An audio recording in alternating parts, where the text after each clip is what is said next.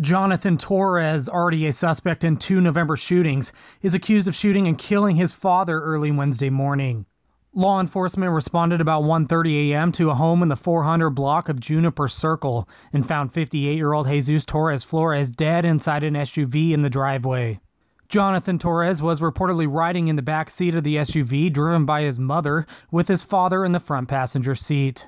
According to the sheriff's office, Jonathan Torres then allegedly shot his father in the head while the vehicle was traveling somewhere near O'Sullivan Reservoir. His mother then drove to the family's home on Juniper Circle in Royal City where 911 was called. Jonathan Torres was booked into Grant County Jail for murder in the first degree. He and his brother Jesus Torres are both suspects in a November 14th shooting, also on Juniper Circle, that left a 44 year old man injured, as well as a November 24th shooting along Hanson Road and Interstate 90 that left two men injured. Jesus Torres, charged with two counts of assault in the first degree and drive by shooting in the November 24th shooting near Moses Lake, was released from jail Tuesday afternoon after a judge did not find probable cause for the charges. This is Joe Utter for iFiber One News. Thank you.